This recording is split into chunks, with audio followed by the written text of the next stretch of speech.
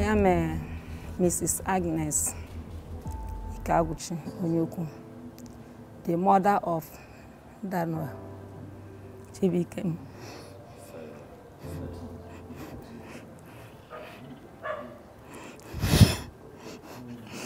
I am Mr. Dominic Ikaguchi Onyeukwu, the father of Daniel Chibuike Ikaguchi, who was killed in cold blood on 19th September 2020 by Nigeria police at Elelenwa here in Port Harcourt without any justifiable cause.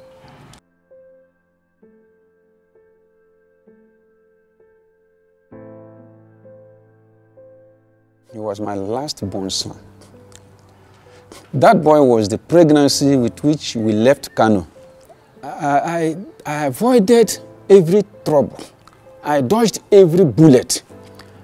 I made everything I should do, even things beyond my reach, to make sure that that child was kept safe. But you can see what has happened. After 20 good years, we returned here. Somebody came here and wasted that son for me. It was painful. He was the closest person to the mom. He's a son that his loss made me almost mad. His loss disorganized me. Since his death, I became disoriented. That my son is the one selling fruit.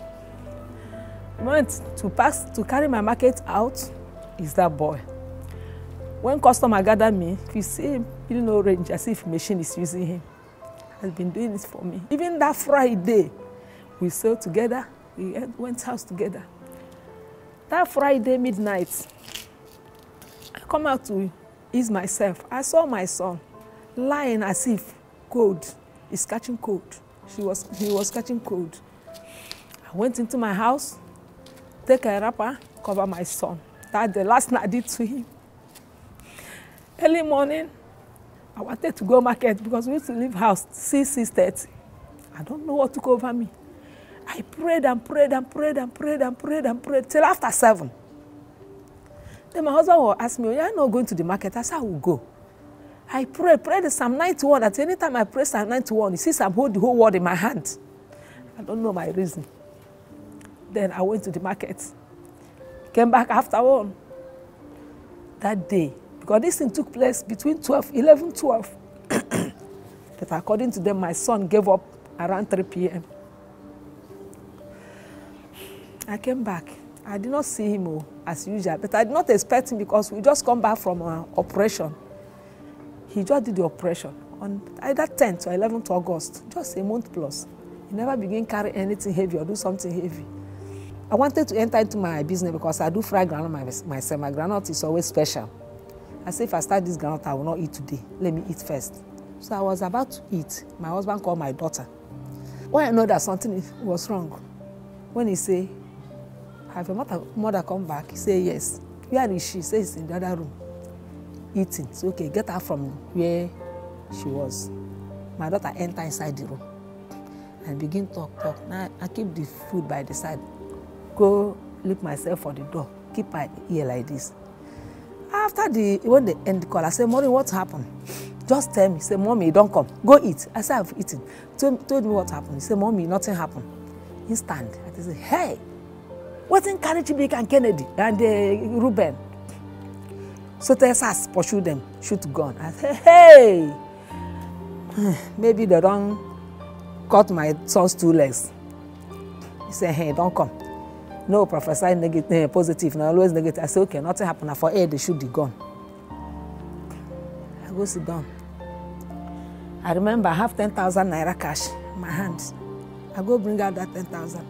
Give this one five thousand give am five thousand. Make una begin look for am wherever una see am we borrow money go carry am i dey waka up and down waka up and down waka up and down i dey call if i call i still dey call my son o i still dey call am whether dem go allow him to answer me i no know that my son is no longer on the land of the living.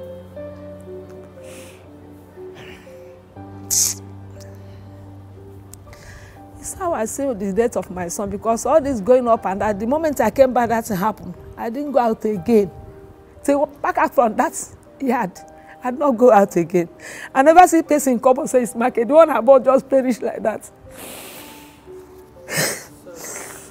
and this boy, before the date of this boy, if I told you the kind of amount of money this boy gave me to support the business without me, no type of all this participation that boy they do to make sure he's like other people. See my legs, see my leg.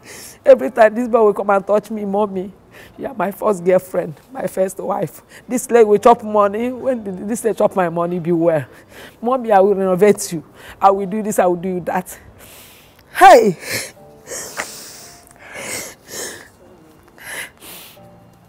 Around 11 o'clock, I felt as if this feeling I'm going to explain to you now also, I had it in the night of that day.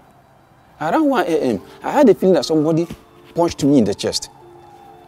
I wasn't sleeping. This one I was awake after my midnight prayer. I had a feeling that somebody punched me in the chest. So I shouted in pain and began to pray say, Oh God, please fight my battle. I don't know what is going on. Around 11 in the day, on that Saturday, this experience repeated. And I was feeling as if my energy was draining. So I said, Lord, I don't know what I'm going through. God, please intervene. A few minutes after that prayer, I received a call from my son, Michael, the elder son, who is a, an undergraduate at uh, Futo. He asked me, Are you relaxed? The moment he asked me this question, chill ran down my spine. I knew that all those experiences I was going through, this is the result. In fact, I was thinking that maybe the mom had involved in accident because she went to market.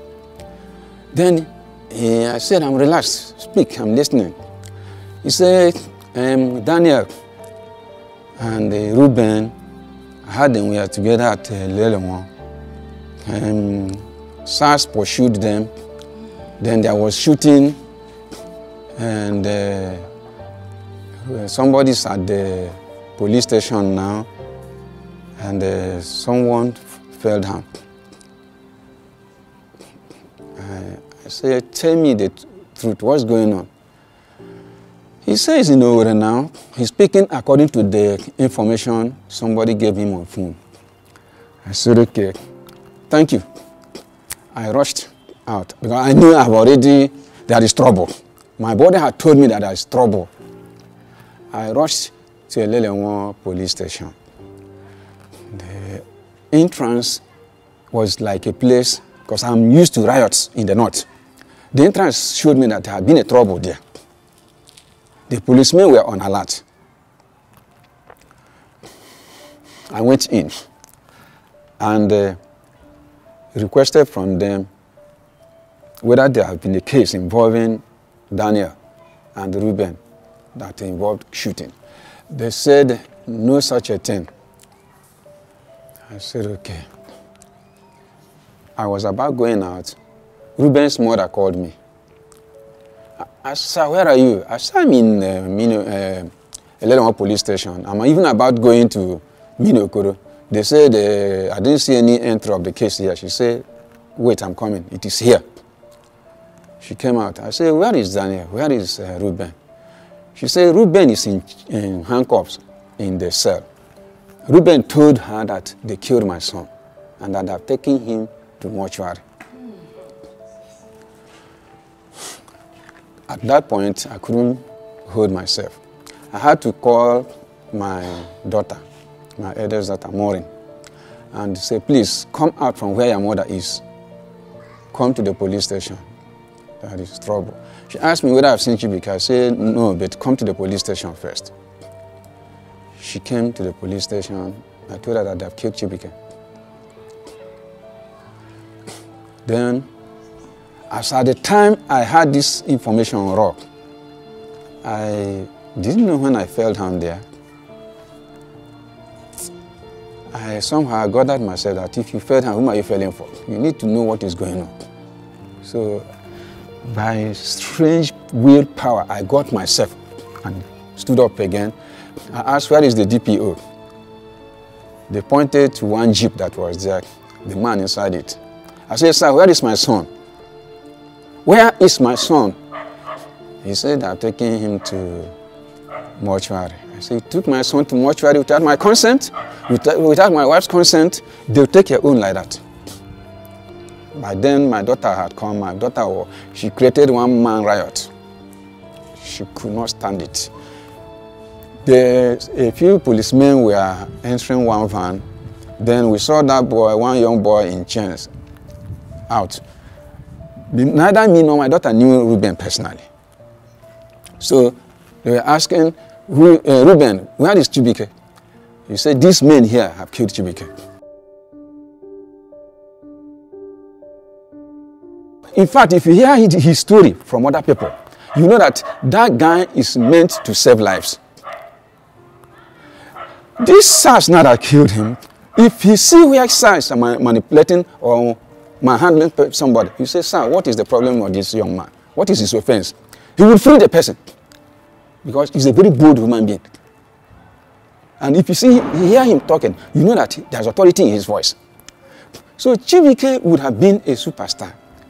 Chibike, because I was training to be a civil engineer, I had already gained his ad- admission, waiting for all this COVID 19 and all that.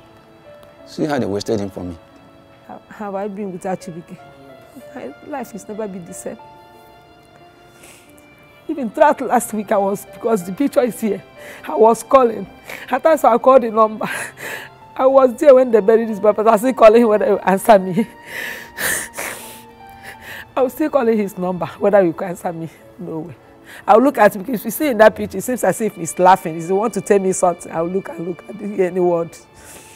My life never be the same. Never be the same since he left me. Though I have other children, but the departure of that boy seems as if 20 people get out of my house.